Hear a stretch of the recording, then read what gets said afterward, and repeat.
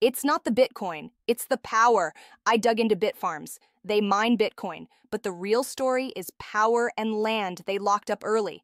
Miners grabbed megawatts years ago, but AI builders wait years for hookups. So Bitfarms is marketing sites for AI data centers, high performance computing, basically rows of chips that drink electricity.